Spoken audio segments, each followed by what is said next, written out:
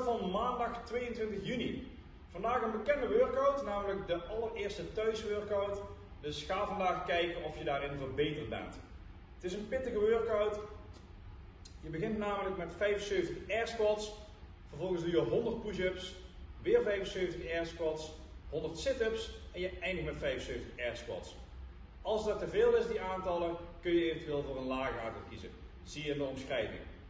De air squat. Je zet je voeten schouderbreedte, tenen wijzen een klein beetje naar buiten.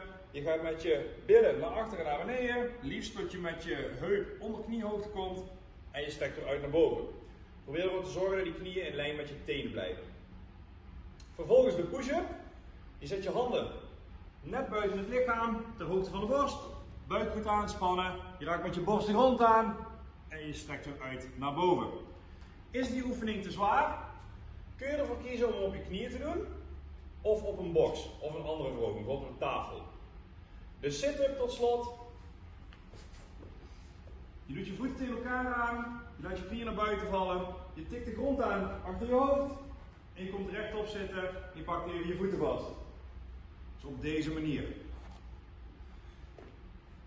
Dus 75 air squats, 100 push-ups, 75 air squats, 100 sit-ups en op het einde weer 75 airspots. Heel veel succes. Ik hoop dat je verbeterd bent. Eh, vergeet ons YouTube kanaal niet te abonneren, en filmpje te liken. En tot morgen.